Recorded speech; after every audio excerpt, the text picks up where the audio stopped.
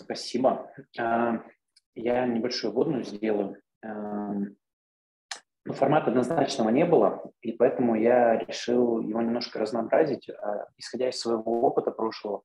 Возможно, кто-то уже слышал лекцию, которую хочу сейчас рассказать. Она про стратегию, про то, куда мы идем. Вот. Но я вчера прилетел из Баку, где прочитал в четвертый раз наш курс продуктовый, и мы полностью переделали логику этого курса. А, мы сделали очень много практики, когда ребята а, делили на команды, и в этих командах они садились и прорабатывали идеи, и ну, это кажется просто такая базовая, ну, очевидная вещь, что прорабатывая самостоятельно, ну, то есть проходя через, э, через свои руки, проводя какую-то задачу или инструмент, э, ты всегда будешь гораздо лучше понимать, как он работает. Вот. Я, если честно, хотел сегодня большую часть времени потратить на то, чтобы мы с вами поработали, и вы вопрос про стратегию закрыли для себя лично. Вот. А, и как результат мы сегодня ушли, и у вас появилась стратегия вас как человека. То есть не организации, потому что организация – это все круто и классно. Вот, а продукты – это тоже здорово, когда у них есть стратегия, но кажется прям супер полезно, когда есть стратегия у человека. А, а сейчас, с учетом того, что у нас вокруг происходит, кажется, что вообще ничего не понятно, как будто бы стратегия будет полезна вообще всем. Вот. Поэтому, если никто не возражает, хочу построить формат теория плюс практика, когда прям можно будет садиться, рисовать, думать, а, а потом рассказывать, что у вас получилось. Если не сложно, попробуйте запастись либо ручкой, пока я там буду вещать, вот, либо Google Doc, ну, чтобы у вас было куда написать. Поэтому а, у нас будет небольшой перерыв, когда я дам вам 5-10 минут посидеть, поштурмить, подумать, вот, чтобы вам было куда зафиксировать все, ну, даже банально на телефон заметки, например, чтобы потом можно было на эту тему подискутировать. Вот. Если возражений ни у кого нету, погнали. Ставьте плюсик, если все окей в чате, я сообщения ваши читаю, вижу. Вот, а я пока поширю презентацию. Все, плюсики есть. Два плюсика мне достаточно. Две стратегии сегодня мы пишем. О, 3, 4, 5. Отлично. Полетели. 6. Um, скажите, пожалуйста, видно экран? Все окей? Да, все, вижу. Кивающую губу. Кстати, а, как всегда, прошу ребят по возможности включайте камеры, потому что гораздо приятнее в Zoom общаться с живыми людьми, а не с именем, фамилией на сером фоне, поэтому не стесняйтесь, врубайте. Хочу видеть. Вот. Оль, кстати, Оль, Спасибо большое. В общем, поехали. Что, поговорим сегодня про стратегию, про видение. Кажется, безумно полезная, хорошая штука. Есть разные форматы. Сегодня посмотрим, наверное, оба варианта. Легкая, сложная, как, как бывает. Вот. Поехали. Кто я? Я Сергей, я продукт точки, кофаундер Common Guys проекта, мы занимаемся консалтингом с моим коллегой, партнером. Вот. Помогаю Вике, в том числе уже сколько, Вик, с тобой мы полтора года, два, уже два года мы очень тесно взаимодействуем. Вот, безумно рад этому всему, что есть возможность и помогать вам, и работать вместе с Викой. Вот. В последнее время стал посвящать все больше времени менторству, наставничеству. Кажется, что очень клевая, хорошая штука, полезна.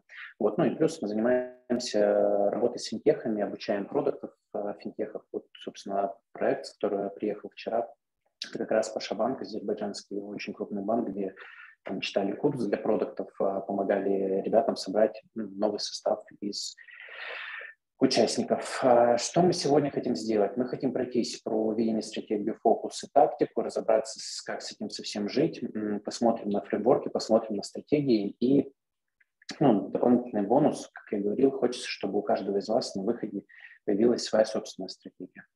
Вот.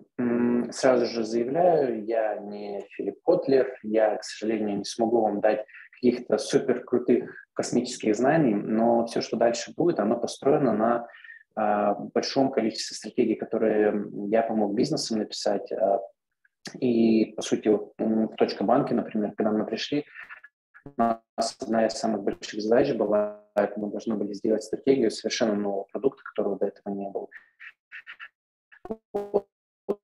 Но это все бизнесовая история, но моя задача сегодня – с вами как людей. Есть хорошая цитата Марка Твена, читать я не буду, вы сможете почитать. Мне кажется, она очень хорошо символизирует, что такое стратегия, зачем она нужна. А, и я всегда привожу такой пример интересно, что, ну, грубо говоря, если вы выйдете утром на улицу с рюкзаком, в куртке, с зонтиком, куда вы пойдете? У вас технически будет 360 градусов направлений, куда вы можете двигать, и вперед, и назад, и влево, и вправо. Вот.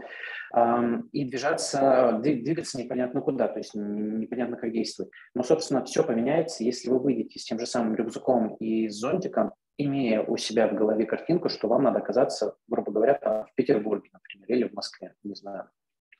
И здесь становится совсем иначе. А, если я знаю конечную точку, куда мне надо попасть, то я могу построить ну, какой-то набор действий, чтобы там оказаться. Ну, предположим, я выйду в Москве на улицу, а знаю, что мне надо оказаться в Петербурге, знаю точку Б конечную. А, что я могу сделать? Там, спросить у бабульки возле подъезда, как мне добраться до Питера. А, начать гуглить в интернете, я не знаю, сесть на автобус, поехать в сторону вокзала. То есть начать перебирать различные варианты, и вариантов, кажется, на самом деле очень много. И самолетом туда можно лететь и пешком, можно просто идти, хотя бы спросив направление, куда двигаться. Вот. Дальнобойщики, которые могут меня подкинуть и так далее. То есть кажется, что когда мы знаем, куда нам надо попасть, когда мы знаем финальную точку, точку Б а, и пункт А, с которым мы идем, то все становится проще. Остается просто понять, какие шаги нужно предпринять, чтобы там оказаться. Но если мы эту точку Б не знаем, то, соответственно, у нас вариативность она большая, мы начинаем дергаться в разные стороны. В итоге я окажусь где-нибудь на Камчатке, что тоже вроде бы неплохо. Вот, но, собственно, а, а, нужен был Питер. И как раз вот а, вся история про точку Б, то, куда мы идем, а, оно все очень тесно связано с видением, со стратегией, а, с тактикой, как двигаться. Собственно, про это сегодня будем говорить. Продуктовая стратегия, а, либо стратегия продукта – это тот самый план, благодаря которому мы можем достичь целей, тех самых целей, те самые точки Б, на которые мы должны попасть. Вот. И здесь, наверное, стоит сказать про фокус. Всегда показываю этот пример. А, я его адресую сейчас, наверное, как организации, то есть к руководителю организации, но он очень легко перекладывается точно так же на нас, как на персонале. Предположим, есть вы, а, человек, который говорит, что я хочу двигаться туда. То есть у нас, у нашей организации, у нашего продукта есть определенная цель. А, но вокруг вас есть другие люди, которые вместе с вами работают, которые помогают вам к этим целям двигаться, может быть, не помогают, но у них свои какие-то картины мира и свое видение, куда они идут и что они хотят делать. А, и задача нас, как владельцев, SEO, продукт-менеджеров, как угодно, сказать, ребятки, мы идем туда, то есть задать фокус, благодаря чему э, вот эти вот стрелки, они начинают направляться в одном направлении с нашими. И мы начинаем идти совместно. И эти люди, они, собственно, поворачиваются уже к нам, и начинают двигаться вместе с нами. И это получается не лебедь, рак и щука, а все трое, там, четверо, целая компания из многих тысяч человек, они начинают двигаться в одном направлении. А, ну, а, соответственно, усилий гораздо меньше на это приходится тратить, и результат, скорее всего, будет гораздо эффективнее. Вот. Но при этом мы еще говорили про видение, мы говорили про стратегию, и слишком много вот этих вот всех определений становится тяжело. А, поэтому кажется, что логика могла бы быть следующая. То есть у нас имеется некий фокус, то есть мы говорим, что мы двигаемся вот в сторону Питера, а, мы говорим, что у нас есть видение, я должен оказаться на Невском проспекте через два месяца. А, при этом мы дальше начинаем формировать стратегию, как туда попасть, и тактику, что мы должны делать прямо сейчас, чтобы там оказаться. Вот. А, но бывают стратегии по-взрослому, мы про них чуть дальше поговорим, но для того, чтобы это все построить, когда мы общаемся именно про стратегию компании, всегда хорошо было бы смотреть на то, откуда мы можем брать какие-то вот эти вот идеи и, и мысли для того, чтобы туда двигаться. А, сорян.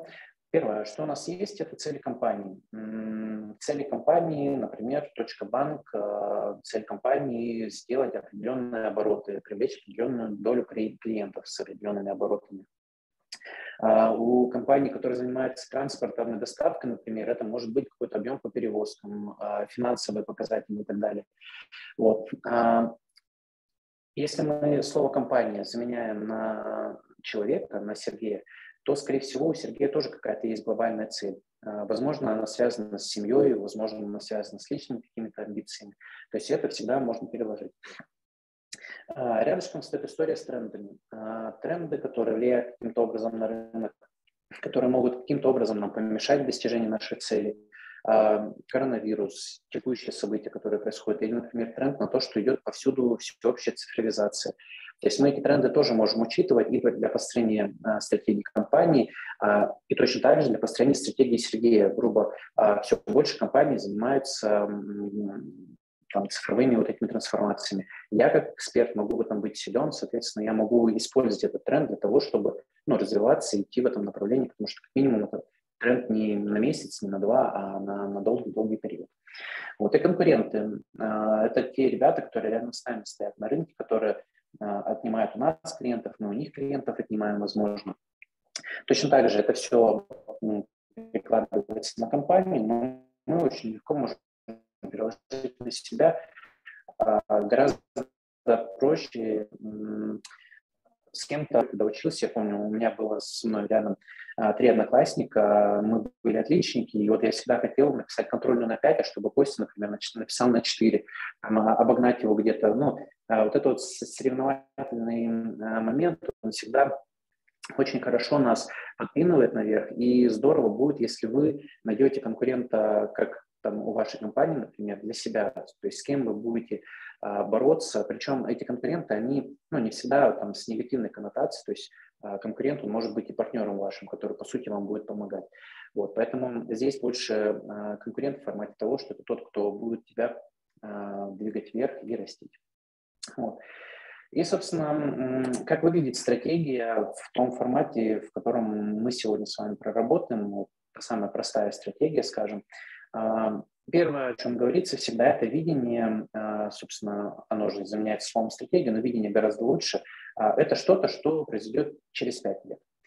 Вызов – это следующий шаг на уровень ниже. Что мы должны сделать за три года, чтобы у нас вот это вот видение пятилетнее случилось? На следующем шаге мы должны сделать что-то такое прямо сейчас, чтобы у нас получился результат вызова трехгодичного, который нас приведет в пятилетнюю перспективу. Вот. И у нас есть текущее состояние, то есть где мы сейчас находимся и что мы сейчас с вами делаем, собственно. А, всегда пишется сверху вниз, то есть сначала мы говорим про видение, про пятилетнюю историю, потом говорим про три года, потом говорим, что делаем сейчас и что у нас имеется, но реализовывать начинаем всегда снизу вверх. То есть пишем сверху вниз, а, выполняем снизу вверх. Здесь вот я попрошу, по возможности, ребят, у нас здесь 12 человек сейчас, включите микрофоны или, может быть, в чатик напишите, как думаете, почему написание вот этой вот истории нужно начинать именно сверху? Почему мы сначала пишем про а, картину вот этой вот пятилетней перспективы? Какие у вас мысли? Можно микрофон вырубать, говорите, не стесняйтесь, пишите в чатик.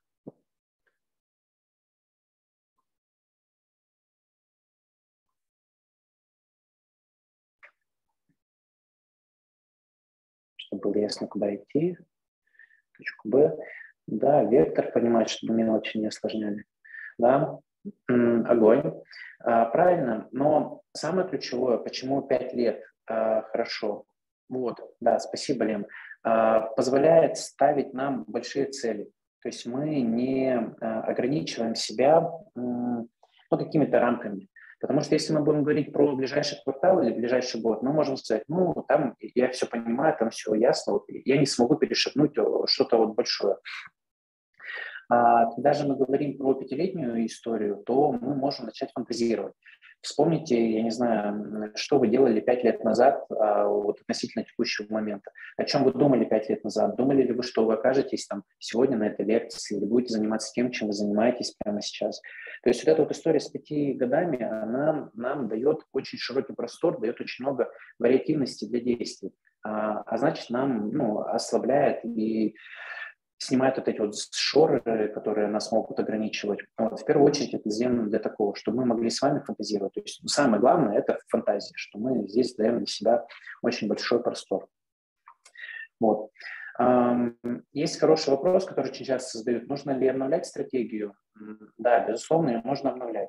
Скажем, когда начался коронавирус и всех посадили по домам, а у вас, предположим, была стратегия каждый день посещать по новым ресторанам, утрирую сейчас. А, не знаю, зачем это могло бы быть полезно для точки Б, в которой вы окажетесь когда-то, но положим так. То есть все, ваша вся концепция нарушится, потому что появились какие-то новые факторы, которые ну, просто нарушают весь а, ход а, вашей мысли и ход деятельности. Соответственно, в таких случаях действительно стратегию нужно обновлять, садиться, носить корректировки. Это касается и ваших личных целей, и, возможно, там а, корпоративных, ровно как и изменение каких-то там экономических ситуаций на рынке и так далее. То есть эти все вещи, они требуют обновления. А, я для себя, например, принял как правило раз в год просто садиться и пересматривать эту стратегию, пересматривать цели, собственно, куда я иду. Кажется, что год – это достаточно такой хороший э, этап, чтобы сделать выводы и посмотреть, что у нас будет там дальше на следующий этап. Вот. А теперь давайте глянем пример. Эм, ну. эм, возможно, кто-то из вас это видел, но я думаю, повторение мать учения будет не лишним. Э, какая история? Ко мне обратились мои друзья, которые попросили помочь им э, со стратегией их компании. Вот. А это было два владельца бизнеса, они занимаются разработкой сайтов на Тильде, насколько я знаю, вы это дело уже проходили, для вас слово Тильда не является чем-то страшным, ну, в общем, это конструкторы сайтов. Вот. А, вот так вот выглядит стратегия в финальном. То есть мы говорим, что за пять лет компания дело станет вот таким вот, при этом за три года нужно сделать вот такие вот вещи, чтобы достичь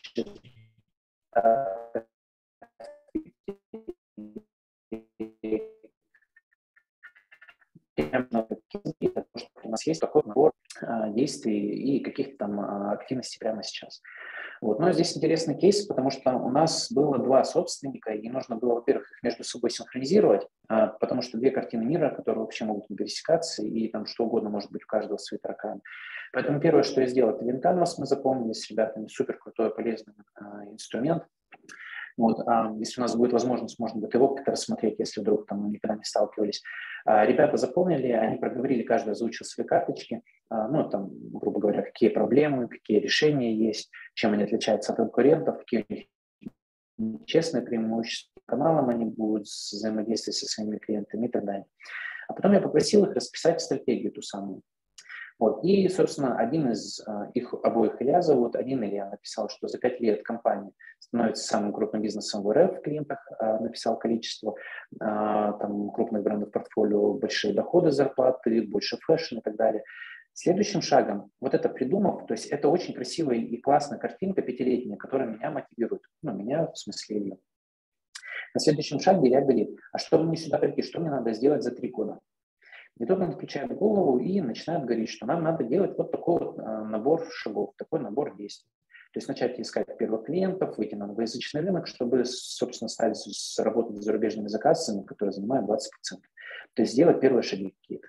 При этом прямо сейчас нужно начать делать вот такие вот, то есть подключить еще одного дизайнера, начать, научиться искать клиентов самостоятельно, потому что сейчас они по сарафану приехать, приходят, съездить во Францию и там попробовать продавать услуги. И для этого у них есть сейчас ну, такой оборот, э, столько-то дизайнеров, столько-то проектов в месяц они выпускают. А, и это была история одного Ильи, но там их было двое. И второй Илья, он написал совсем другую картинку мира, что тоже было интересно. А, он написал, что там компания за пять лет это крутой большой игрок на рынке, а Тильда, возможно, уже к тому времени умрет, будет какая-нибудь там корявка, другая система, потому что в 2020 году ребята не знали, что будет Тильда. Вот, у них есть большой штат а, с переездом в Москву и так далее. В общем, расписали. А при этом за три года они м, делают вот такой набор действий, прямо сейчас делают такой набор действий и начинают с того, что у них есть вот эта база. После этого мы сделали следующий шаг. Мы собрали две этих стратегии. То есть мы взяли стратегию Ильи, она была сверху первого или второго, объединили их и получили новую красивую стратегию, которая удовлетворяет обоих. Ровно то же самое сделали на следующем этапе. То есть это у нас было 5 лет, это у нас за 3 года, что нужно сделать. Это ближайшие шаги, которые нужно выполнить. И здесь еще ребята, помимо этого, они взяли каждый из блоков, еще и расписали подробно. То есть сделали там под задачи. Про это мы с вами поговорим в среду, если не ошибаюсь, у нас будет следующая встреча. То есть как нам вот это вот дело расписывать и как с, с, ним работать, с этим набором. Вот. Но это будет в среду. Вот, собственно, что мы получили? А, мы сформировали новую стратегию для компании, где она идеально изучит для обоих Ильев, Ильев, для обоих Ильюх, наверное, как это правильно расклонять эти два имени. Вот. А, собственно, они стали понимать, куда они идут за пять лет, куда они двигаются за три года, что будут делать прямо сейчас, и, собственно, какое у них а, текущее состояние, что у них есть на текущий момент. Вот. А, собственно, здесь я бы хотел сделать паузу и задать вам вопрос. Есть ли какие-то вопросы или что-то, может быть, здесь вызывает э, сомнения или хочется что-то обсудить? Опять же, чатик есть, голос, не стесняйтесь, говорите.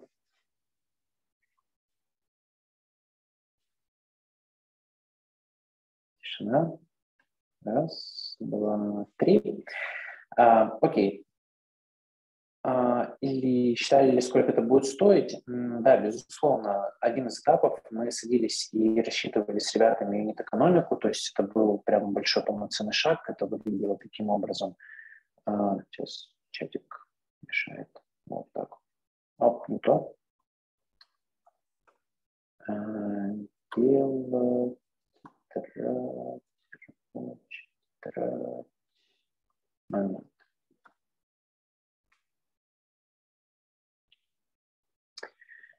У ребяток был вот такой вот, была такая табличка, и у них вот здесь вот они садились, и отдельно мы просчитывали с ними, как, а, как им прийти к этим целям, сколько надо сайтов сделать, сколько за сайт надо брать, сколько они будут тратить, постоянных переменных расходов, какой у них состав должен быть людей. Ну, тут видно, например, что в зависимости от типа сайта меняется количество участников, которые это делают.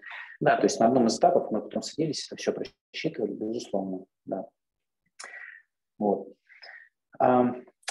Что я предлагаю сейчас сделать вам? Взять паузу, сейчас момент, слишком много окошечек. Так, не могу перешагнуть через себя и начать планировать на 5 лет, даже фантазировать не могу, какой-то внутренний ступор. Вот, Оль, специально для вас уникальная возможность. Да, берем сейчас с вами, э, сколько у нас времени, 23 минуты. Э, давайте 8-7 минуток возьмем. Я предлагаю вам попробовать, э, напишите вот эту вот историю, напишите через 5 лет, как вы видите себя смотрите, вот самое клевое, что вы можете здесь сделать, это начать фантазировать.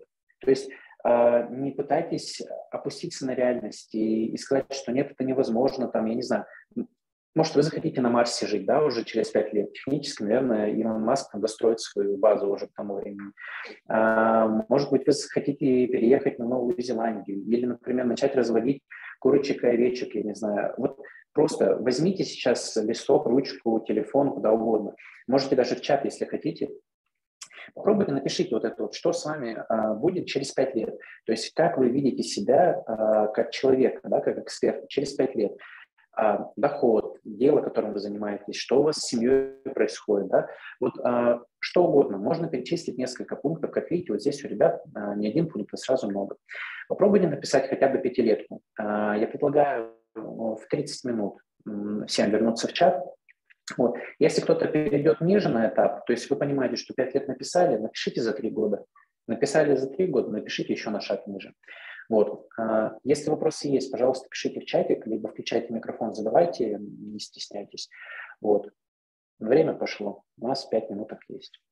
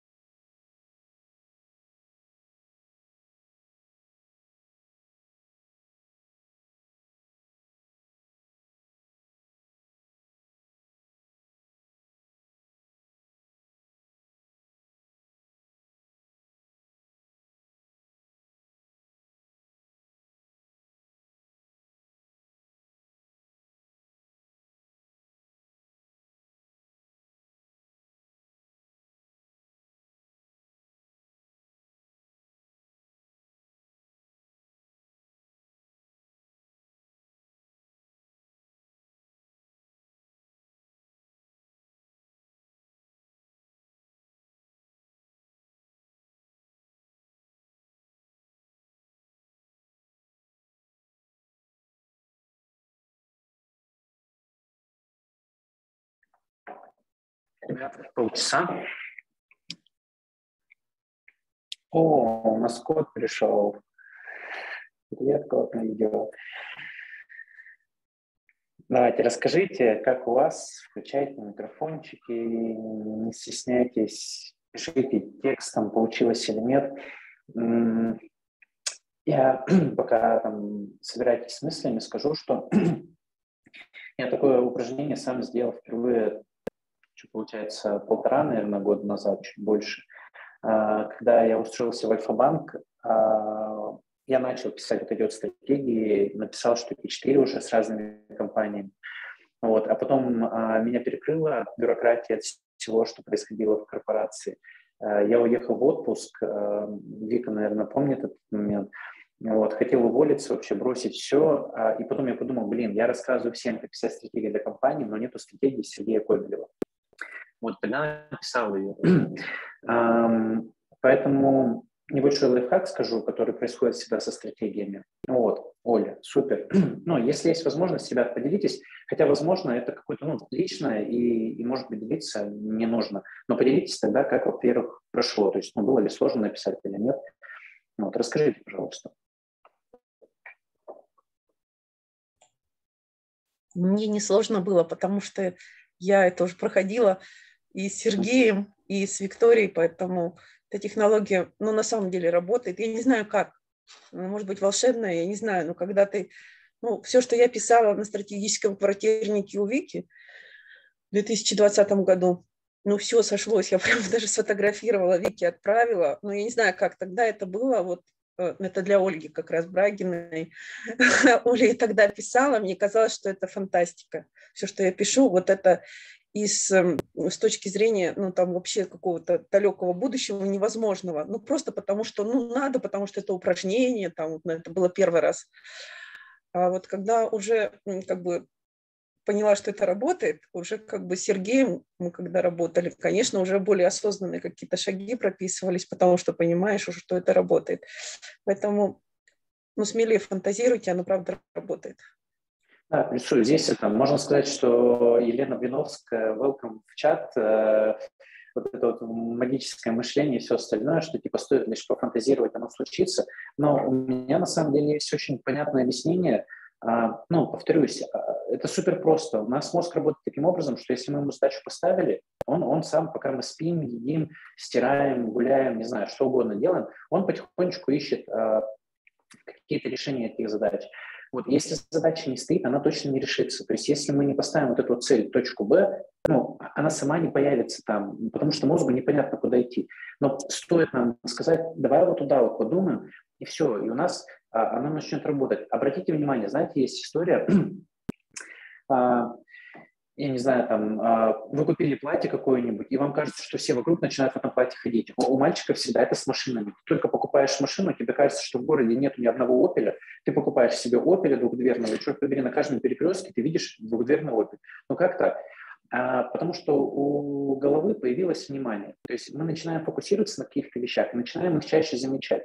И ровно так же здесь будет у вас работать как только вы говорите о чем-то вот этом далеком пятилетнем, помните вот эту вот презентацию, да, у меня слайд был, когда мы сделали вот эту вот а, линию, сказали, вот туда надо смотреть. Во-первых, мы будем отбрасывать все лишнее, а во-вторых, когда мы за пределами будем видеть что-то сонаправленное с нами, вот с с нашей целью, мы будем вот так вот хватать это, притаскивать к себе и говорить, а, а теперь пошли рядышком, помогай мне достигать вот той вот цели, которая там стояла.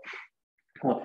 Я поддержу, Оль, а, ровно так это работает. У меня а, вот то, что я писал в пятилетке, оно за год получается. А, мы, когда с ребятами работали, и я вот хотел показать, но там такая частная история, не буду ее выносить. Вот то, что здесь вот было написано, простите, в трех, а нет, правильно, в целевом состоянии, что нам нужно сделать прямо сейчас. И вот там вот товарищ, он делал систему аналитики в Альфа-банке, и он там написал три больших задачи. А, мы это сделали с ним в пятницу, и он сказал, ну, блин, эта задача прям такая, она большая, она объемная, ну, мне на это надо несколько месяцев, чтобы проработать. И я потом смотрю, мне приходят выходные оповещения, что типа, Олег что-то там делал на доске, Олег что-то редактировал на доске. В понедельник я захожу, и решены все три задачи. Ну, просто потому что ему стало понятно, что нужно сделать. Оно супер банально. А иногда нам надо сесть просто и подумать, собственно, какие шаги у нас лежат вот к цели, к той, к достижению. И мы их начинаем гораздо быстрее делать. Либо начинаем делегировать, либо ну, просто думаем, как это можно купить, оплатить, не знаю, что угодно, либо сделать самостоятельно, потому что становится нашим там, фокусом и очень много внимания туда уделяется. А, Ирина пишет, а, Оль, большое спасибо за обратку, благодарю. А, Ирина, что на 5 лет получилось, на 3 года сложно, шаги надо прописать конкретно, мечтать легко. Как к жизни приблизить? Вот как раз здесь вся история в том, что на 5 лет это мечта. Между пятью годами и тем, что сейчас, мы ставим какую-то серединку и пытаемся понять, ну, скажем, чтобы не улететь на Марс через 5 лет, ну, мне, наверное, надо построить ракету но я ее построить прямо сейчас не могу. Поэтому давай-ка я пропишу вот сюда, вот, три года. А, а чтобы построить ракету за три года, что мне надо сделать прямо сейчас? Мне надо, наверное, найти чертежи ракеты, ну, или купить их, и нанять там а, инженеров, которые эту ракету будут строить. И тогда, если я сделаю это прямо сейчас, за три года, возможно, появятся ракеты, и за пять лет я на Марс таки улечу. Вот. А, суть в том, что вот эти три года – это некоторая промежуточная серединка а, между тем, что мы можем делать прямо сейчас, и вот этой вот фантазии, которая у нас на пяти годах а, наверху находится. Татьяна, было несложно, делала осознанно первый раз, а, когда делала чуть ремонт в доме не случился внеплановый. Да, это круто. А, кайф, клево. Не знаю, ребят, задавайте вопросы какие-то. Может быть, что-то осталось непонятное. Если вопросиков нет, то я бы хотел сделать небольшую, не знаю, а, наверное, задачку, может быть, вам поставить. А, смотрите, у нас в среду с вами будет следующая встреча. А, на ней я бы хотел поговорить с вами про приоритизацию. Так, а вот здесь или на, на усмотрение. Я, ну, в данном случае то, что я сегодня хотел, чтобы вы написали ваши личные цели, то есть вас как, как человека, который живет, кушает и о чем-то мечтает. А, личное, профессиональное, все, простите, я, я думал личное и корпоративное. А, здесь все зависит от того, что для вас важнее. Если вам важно, чтобы там а, появился ребенок, близкий человек, еще что-то, ну, напишите это. Рядышком напишите. При этом хочу еще развиться, чтобы я был там, очень крутым экспертом. Рядышком напишите еще хочу, чтобы 500 миллионов а, у меня зарплата в месяц была. Расскажите, что вы хотите через пять лет получить. Ну, то есть вот суть в том, что вас никто не останавливает, никто не будет по рукам бить и говорить, что же ты написала такое-то, а как это возможно. Этот листок вообще никому не показывайте, или где вы там пишете, пусть это останется у вас. Пишите все, что угодно, ну, в том и упражнении. А, кейс один был прикольный. Я, наверное, впервые вот с этим столкнулся, да, вот как Оля рассказывает. Да, класс. А, я впервые такую штуку сделал, а, был на... Приезжал Брайан Трейси, знаменитый такой дядька, а, его привозил к нам Эйвон в Россию. Вот. И он выступал в Олимпийском, это моя первая поездка в Москву была. Короче, ну, в общем, все вот это вот такое восторженное вокруг. И он сказал, сядьте, напишите 100 целей. То есть чуть другая логика, да, он просто говорит, напишите 100 целей, там, остановитесь на 10, ну, в общем, классика, думаю, каждый из вас с этим сталкивался. А, и вот та же самая история. Я все там написал вообще, а потом взял это, положил в банковскую ячейку и, наверное, нашел этот листок года через три, когда я что-то там перебирал в ячейке, привез документы какие-то очередные. Вот, и, и прям реально было забавно. То есть я там писал, что я хочу, вот серьезно, я писал там Opel Astra, что я мечтаю купить ее. Потом у меня был какой-то перерыв, когда я вообще забыл про эту машину. И в итоге купил эту Opel Astra, потому что товарищ ко мне приехал, говорит, все, появилась тачка крутая, поехали смотреть. Вот. Ну, оно правда работает так. А, собственно, что хочу, чтобы вы поделали. Попробуйте а, дописать дома на листке вот эти вот все а, истории, которые здесь у вас лежат. На следующее занятие хочется, чтобы вы пришли, и у вас вот здесь вот в целевом состоянии было чуть-чуть побольше задач. То есть за пять лет э, хочу заработать 100 миллионов долларов, поэтому за три года я буду зарабатывать там, по миллиону долларов. А вот чтобы не зарабатывать по миллиону долларов за три года, что мне надо сделать прямо сейчас? И вот здесь вот я хочу, чтобы вы расписали по возможности подробно. Э, я понимаю, что э, там вот, ну, Ирина говорит, да, что тяжело расписать, но я более чем уверен, что ну, если вы возьмете каждую отдельную цель какую-то, вы точно сможете рассказать, как к ней можно прийти. Ну, я не знаю, найти близкого человека, ну что там, ну банально. Надо поставить киндер, зарегистрироваться, сделать фотосессию красиво, написать хорошее описание, дать его корректору, чтобы он поправил, а, посмотреть, как выглядит описание у других а, там конкурентов. Помним, да, что стратегию мы пишем всегда по анализу конкурентов. Смотрим, как другие профили на, на Тиндере заполнены. Ну и, и все, и понеслось. Ну, хлопс, все, и из одной истории у меня появился э, набор задач, а там еще рядом э, купить красивое платье или красивый костюм, э, начать ходить на свидание. Ну, в общем, любую из историй ее можно очень хорошо разложить на маленькие подзадачки. Вот. Э, я на следующем занятии хочу, чтобы мы с вами попробовали вот из этого списка большого задач – которая ну, иногда превращается просто в набор э, бесконечных каких-то вот этих вот вещей, э, мы научились выбирать то, что нам будет самым полезным, важным и интересным. Это вопрос про приоритизацию. Вот, попробую рассказать про нее вам. Э, и если у вас это будет написано в Excel, э, прям, ну, чтобы вы списком э, перечислили, прям попробуйте сделать это. Мы бы потратили, опять же, там, минуток 10-15 и попробовали ну, вот эти вот задачки ваши отскорить и, и выбрать лучшую. Я подготовлю вам таблицу, в которую вы все это внесете, и, собственно, думаю, ну, будет достаточно полезно, интересно. Просто, чтобы вы научились, и точно так же, как вот сегодня мы с вами ну, написали стратегию, да, там у кого-то она появилась пятилетняя, у кого-то она, может, была, вы ее актуализировали, что вы научились еще выбирать. А дальше эту историю уже масштабируйте куда хотите, стратегия вашей семьи, стратегия вашего бизнеса, стратегия э, проектов, в которые вы заходите. Вот мы, э, вот эти истории, у меня стратегия была для чата. То есть я отвечал в Альфа-банке за э, чат, и у меня там была стратегия, сейчас я покажу вам, э, это выглядело так. То есть у меня впервые появилась стратегия, вот она. Это вот самая первая стратегия. Она отвратительная. Не дай бог, кто-то про нее узнает. Вы должны молчать и никому не говорить, что вы видели эту стратегию.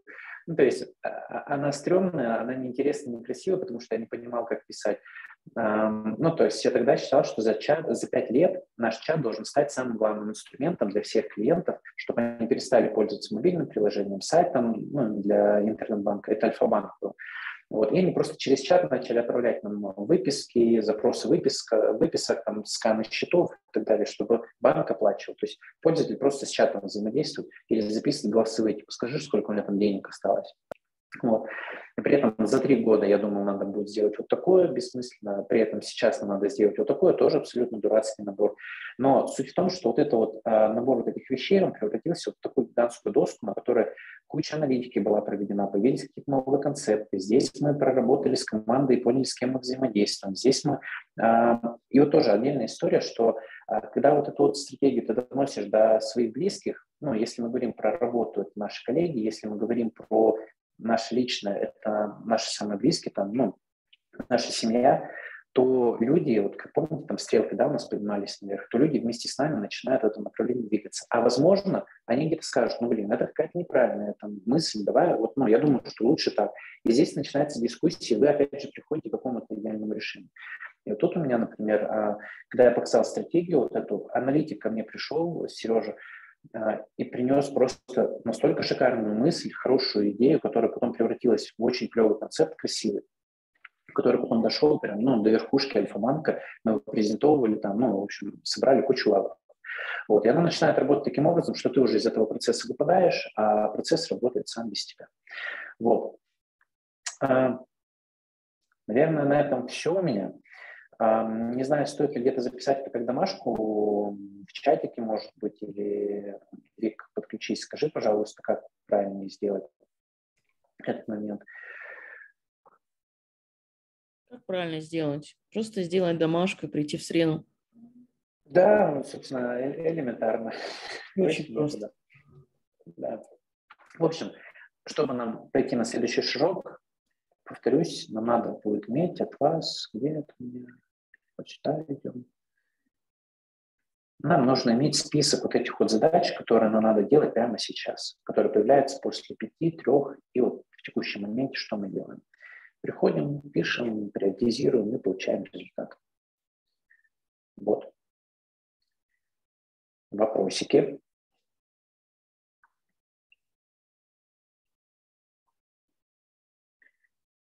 скажу заранее, в среду будет лекция, которую я точно ни разу не рассказывал нигде, э, готовил ее а, для декабрьской конференции, там достаточно интересная история будет, поэтому приходите, я думаю, будет прикольно послушать. Вот, посмотрите, что такое приватизация, как она работает. Прекрасно, тогда в бой. Задача ясна.